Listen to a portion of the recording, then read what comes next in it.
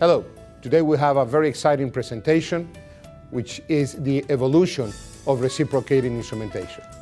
And I have uh, entitled this presentation, The Golden Era of Reciprocating Instrumentation, because truly we are in a golden era of those instruments right now. Let's talk about the history. What is the past? The past of nickel titanium comes about in 1991. That's the first generation. We have passive radial lands, we have fixed tapers, and we have one cross section. We have instruments that only whatever we section was one design.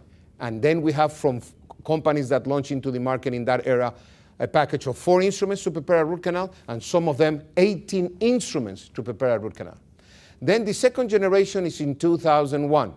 Now we have active cutting edges. Now we have a file that really engages in the canal wall and cuts instead of the previous generation that scrapes the canal wall. We have changing tapers. Now we have different tapers. It's not a constant taper. We have different tapers in the active portion of that uh, file. And we still have the one cross section. It means that whatever we cut that file, we will have the same design. And again, companies from four instruments to 18 instruments. That's the past. If I can call the present, when did the present start? The present starts in 2007. Why? Is the new NiTi metallurgic uh, changings, the, the evolution of metallurgy. And at that time in 2007, two companies were in the market with different type of nickel titanium.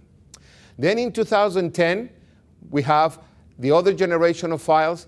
Now we have a file that it's very active. It has changing tapers.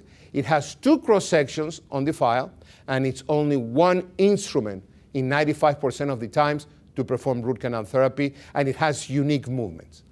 Then look at the uh, dates 2012, 13, 14, and now 15. We have a file that has an active, uh, it's a very active edges. It has changing tapers. And again, the metallurgy, the improvement of the metallurgy have changed. Now we have different colors. We have blue, we have gold. That's why this uh, presentation is the golden era of root canal instrumentation or root canal reciprocating instrumentation. If we look at the history, and we have everything right now in front of us, from the first generation to the second, 10 years, from the second to the third, seven years, from the uh, third to the fourth, three years. And then every single year is changing. Why? Because technology. And now the endodontic field has really embraced all these changes in technology to provide better treatment for our patients. Reciprocation is nothing new. In 1958, Roger Blanc in France invented this contra-angle, which it was called the Giromatic.